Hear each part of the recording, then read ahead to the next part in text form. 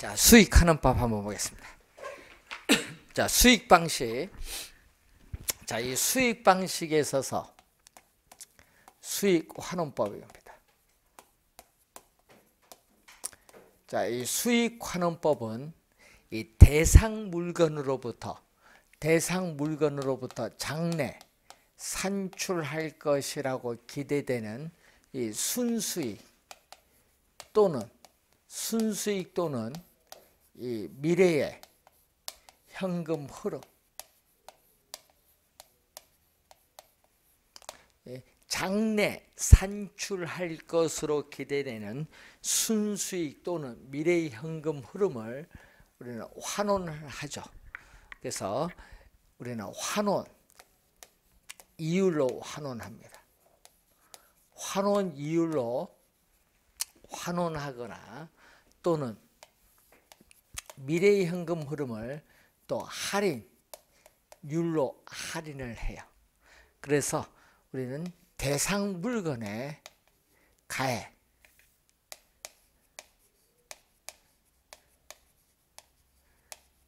대상 물건의 가액을 산정하는 감정평가 방법을 수익하는 법인데 이때 대상 물건의 가액을 우리 뭐라고 한다? 수익 가액이라고 하죠. 자, 장래에 산출할 것으로 기대되는 순수익의 안정적이라고 본다면은 안정적이라고 본다면 환원율이 높으면 수익가액은 뭐한다? 낮아지고 예? 또 환원율이 낮으면 수익가액은 높아지기 때문에 환원율과 수익가액은 서로 어떤 관계? 반대 방향으로 변동하는 역 관계에 있다. 반대 방향으로 변동하는 역관계에 있다는 것을 알 수 있습니다. 자, 그러면은 이 수익 환원법을 구성하는 3요소가 순수익, 환원율, 수익 가액을 구하는 수익 환원 방법이 3요소인데 자, 그러면 계산 문제는요. 요걸 구하는 걸 출제하기도 해요. 계산 문제는. 수익 가액 구하는 걸 출제하기도 하고요. 자, 그리고 원래는 환원 이율이 좀 중요하거든요. 자, 우선은 수익 환원법을 구성하는 3요소 중에 순수익. 자, 순수익은 순 영업 소득을 얘기하죠. 그래서 순수익은 연간 단위로 구한다.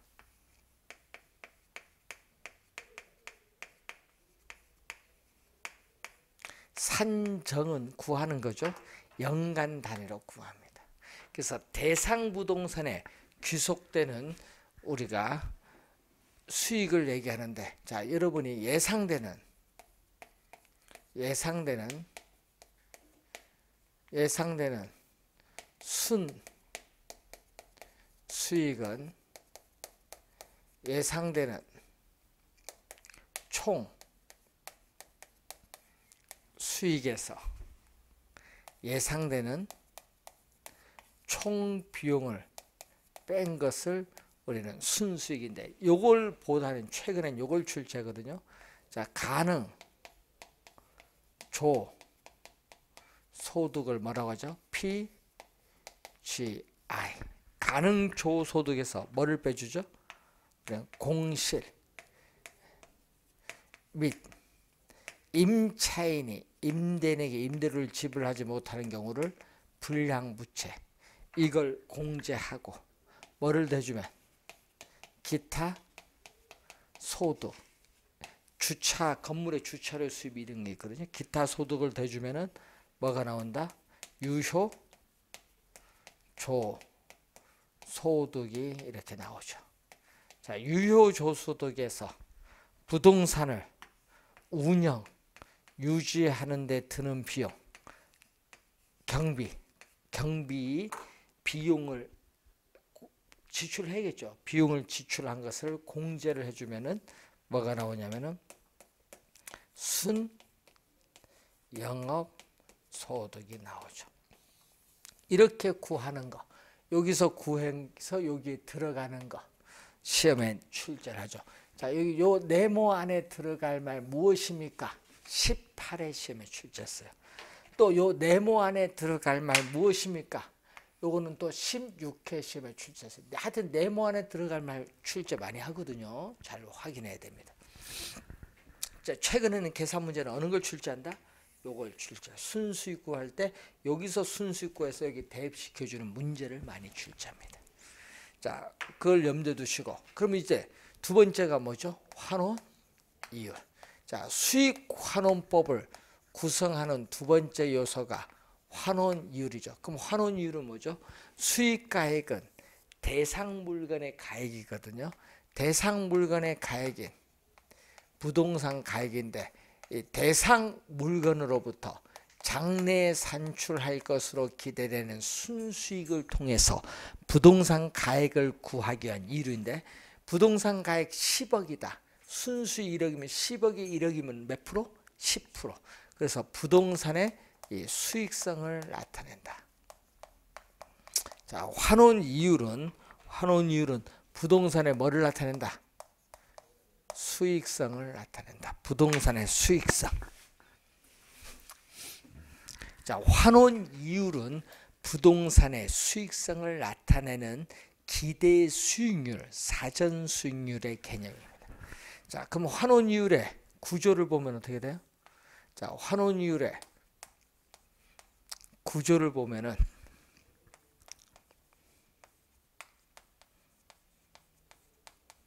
환원 이율은 환원 이율은 투자한 자본으로부터 미래에 예상되는 수익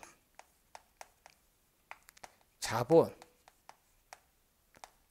수익률에 뭐를 대줬다? 자본 해수율을 대준 개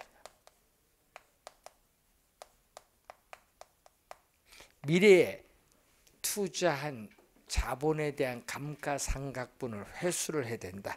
이때 평가 이론에서는 미래에 예상되는 자본 수익을 현재의 가치로 할인을 해야 되기 때문에 평가 이론에서는 자본 수익률을 할인율의 개념으로. 자 그리고 자본 자본 회수율을 무슨 개념으로? 감가 상각률의 개념으로 감가 상각률의 개념으로 구한다.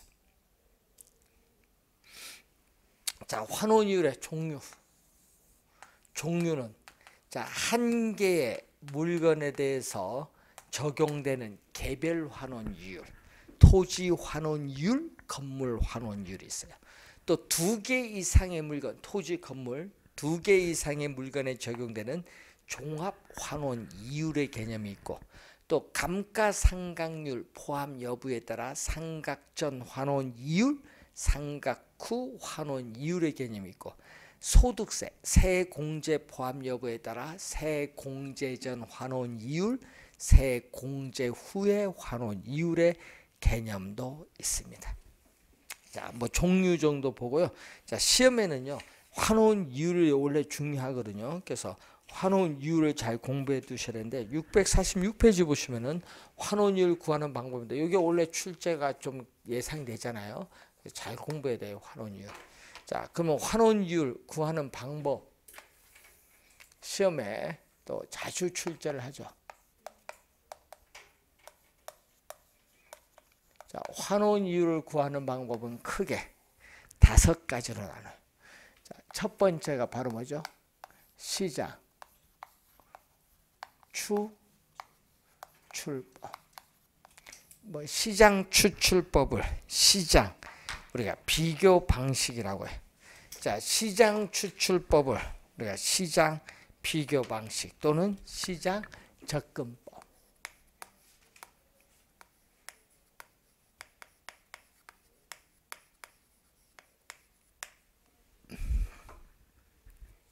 시장 접근법.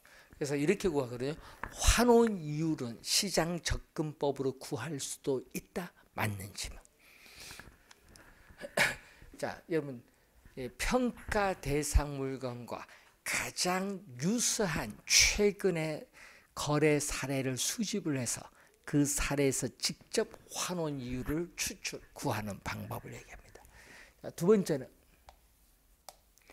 요소 구성법.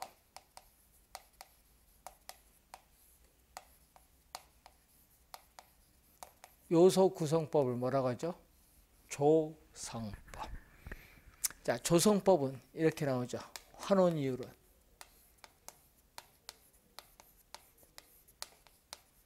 환원 이율은 순수 이, 이율의 오이함률을 가산한 율로 한다. 자, 순수 이율의 순수 이율의 위험률을 가산한 율로 한다. 이때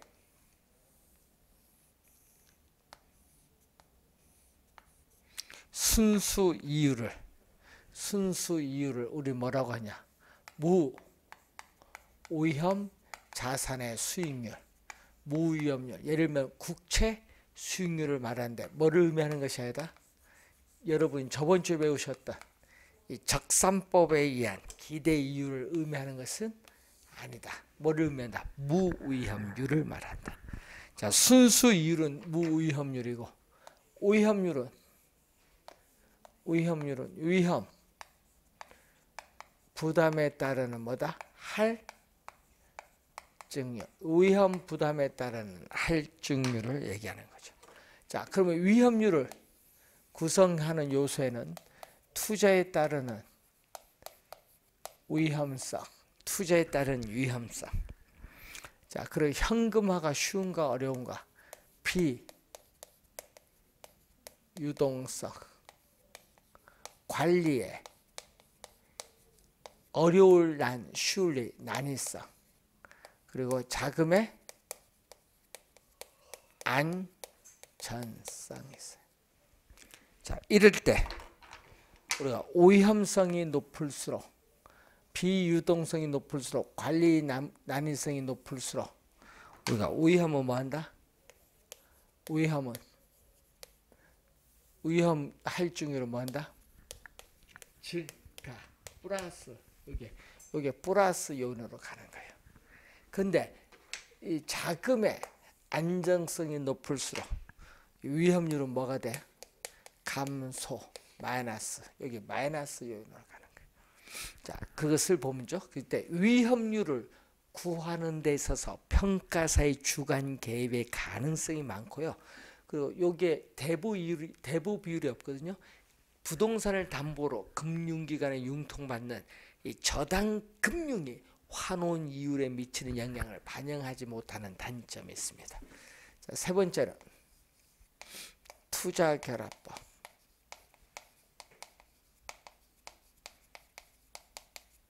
자, 투자 결합법은 두 개. 두 가지가 있죠. 물리적 투자 결합법 그리고 금융적 투자 결합법. 자, 물리적 투자 결합법과 금융적 투자 결합법 두 가지가 있어요. 자, 물리적 투자 결합법은 자, 물리적 투자 결합법은 복합 부동산인 경우에 적용해요. 자, 토지와 건물이 결합된 이 복합 부동산인 경우에 적용한다. 자, 복합 부동산의 순수익, 즉 소득을 창출하는 부동산의 능력이 토지와 건물이 서로 다르며 서로 다르며 토지 소득, 건물 소득이 분리될 수 있다는 가정의 근거에서 구하는 방법을 물리적 투자 결합법. 토지, 건물 두 개 이상의 물건에 대해서 적용되는 무슨 개념? 종합 환원 이율의 개념. 그러니까 토지, 건물로 분리를 해야겠죠. 자, 토지 투자자의 요구 수익률을 토지 환원 이율. 자, 건물 투자자의 요구 수익률을 우리는 또 건물 환원 이율인데 이게 서로 달라요. 아까 토지 소득, 토지 소득을 창출하는 부동산의 능력이 서로 다르며 다르며 하니까 토지 환원율과 건물 환원율은 서로 뭐하다 다르다. 자 그러면 이게 토지 부분, 요거는 건물 부분 이렇게 분리될 수 있어요. 자, 그러면 여기 가중치가 들어가는데 그러면 이 가중치가 뭐죠? 이 가중치가 전체 부동산 가격에서 토지 가격이 차지하는 비율. 토지 가격 구성비. 여기는 전체 부동산 가격에서 건물 가격이 차지하는 비율. 이것을 의미하는 개념. 자, 금융적 투자 결합법은 물리적 투자 결합법이 가지는 한계를 보완했습니다. 자, 금융은 자금을 융통받는 거거든요. 그래서 지분 투자자의 요구 수익률. 자, 여러분이 지분 투자자의 요구 수익률을 지분 환원율. 자, 지분 투자자의 요구 수익률을 지분 환원율. 이때 지분 환원율은 자기 자본 환원율을 말하고 이 자기 자본 환원 이율을 우리는 한 해의 소득을 기준으로 계산하는 지분 배당률을 의미하겠죠. 여기다가 저당 투자자의 요구 수익률을 저당 환원율, 저당 환원율을 뭐라고 한다? 우리는 타인 자본 환원 이율이야. 타인 자본 환원율. 지분 투자자의 요구 수익률과 저당 투자자의 요구 수익률이 서로 뭐하다는 다르다는 서로 다르다는 데 착안을 해서 금융적 측면에서의 투자 자본을 구분하는 방법을 금융적 투자 결합법인데 이때 저당 환원율로서 이 카즈딘이라는 학자는 이것을 저당 상수로 취급을 하죠. 자, 그럼 여기는 부동산 가격, 가중치, 부동산 가격에서 자기 자본이 차지하는 비율. 이건 부동산 가격에서 타인 자본이 차지하는 비율. 저당 비율을 우리는 대부 비율인 LTV를 의미하는 개념이죠. 자, 금, 금융적 투자 결합법을 개량해서 발전시킨 이론이 네 번째 뭐다? L 우드법. L 우드법은 지분 수익의 극대화를 추구하면서 지분 수익률, 총 자본 수익률, 종합 수익률을 강조하는 것이 아니라 뭐를 강조하고 있다? 지분 수익률을 강조한다. 그래서 L 우드법은 환원 이율에 영향을 미치는 요소가 세 가지가 있죠. 뭐가 있다? 우리는 부동산 보유 기간 동안 매 기간마다 현금 수입과 지출 또 매 기간마다 원리금 상환을 함에 따라 기간 말에 자기 자본이 증가하는 지분 형성분 지분 형성분 기간 말 부동산 가치 상승분 또는 하락분 이 세 가지가 환원율에 영향을 주고 있어요. 그래서 이 엘우드법은 환원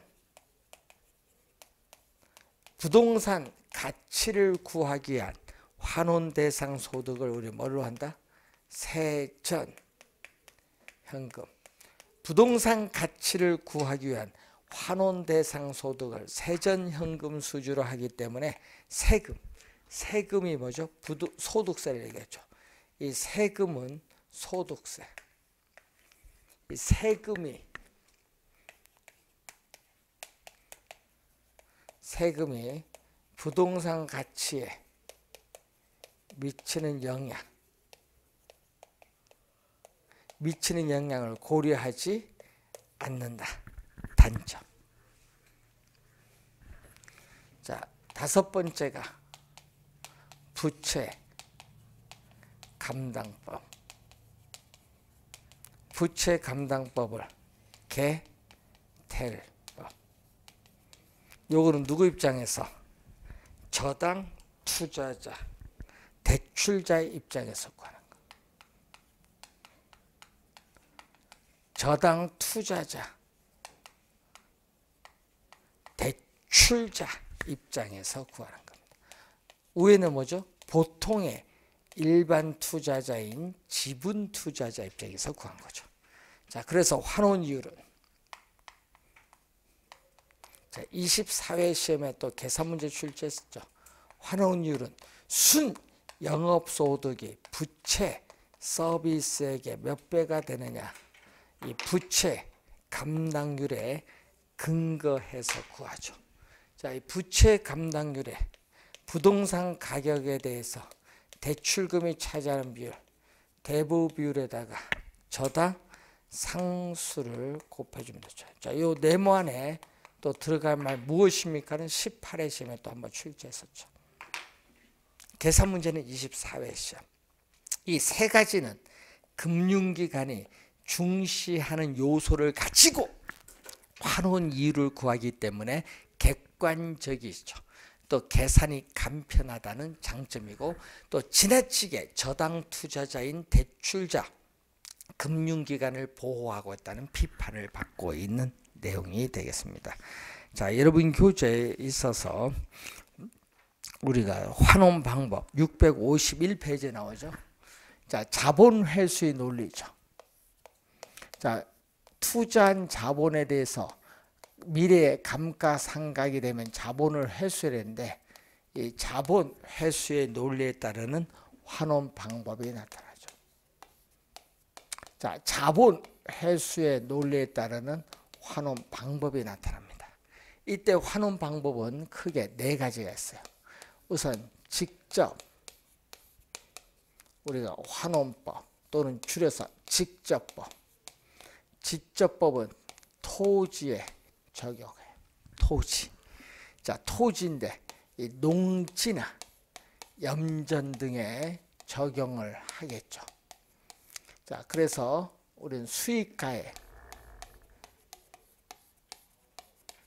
수익가의 피는 토지로부터 토지로부터 장래 산출할 것으로 기대되는 순수익을 바로 환원 이율로 환원해서 구하면은 수익 가액을 구할 수 있다. 자, 토지는 중요한 게 뭐죠? 토지는 사용에 따라 소모가 되지 않죠.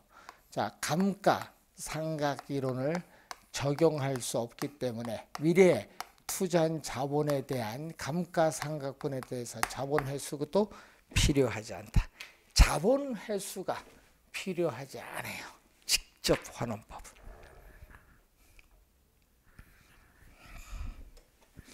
자, 직선 환원법 또는 직선법이죠.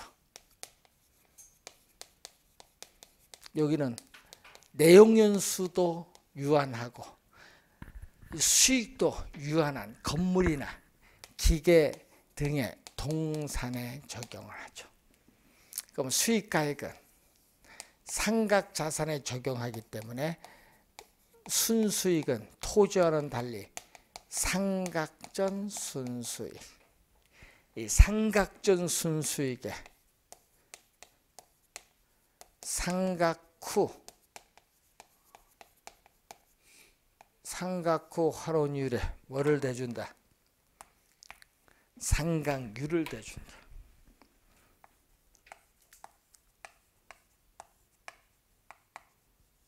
삼각후 활혼율에 상각률을 더해서 우리는 가액을 구하는 방법. 자, 연금법. 연금법을 인 우두법, 상환, 기금법을 호스, 콜드 22회 시험에는 이걸로 출제했어요. 22회 시험에서는 연금법을 평균, 연금, 환원법으로 출제했고 상환기금법은 22회 시험에 감채, 기금, 환원법으로 출제했습니다.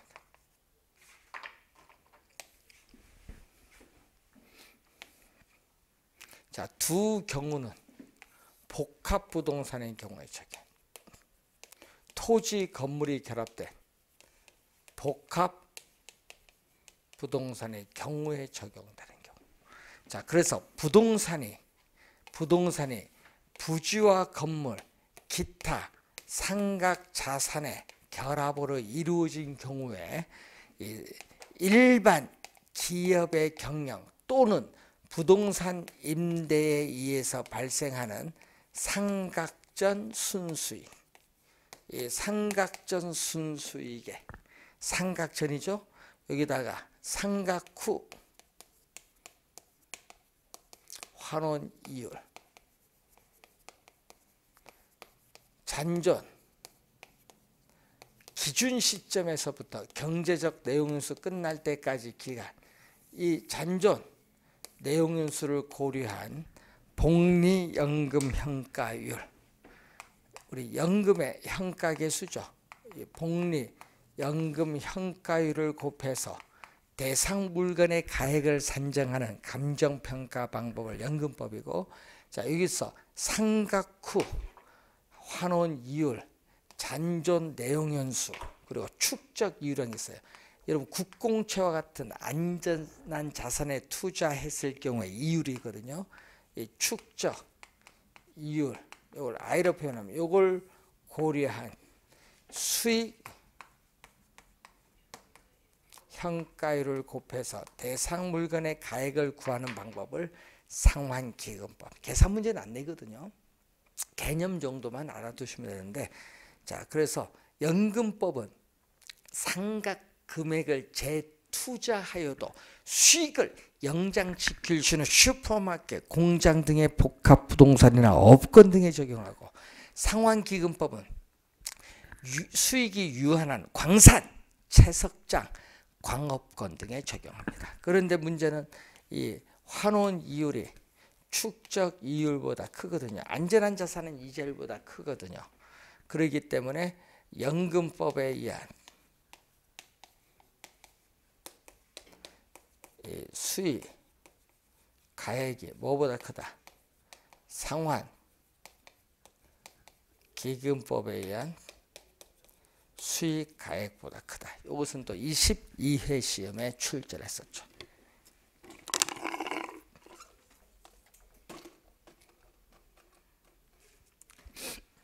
자, 네 가지 방법이 있습니다.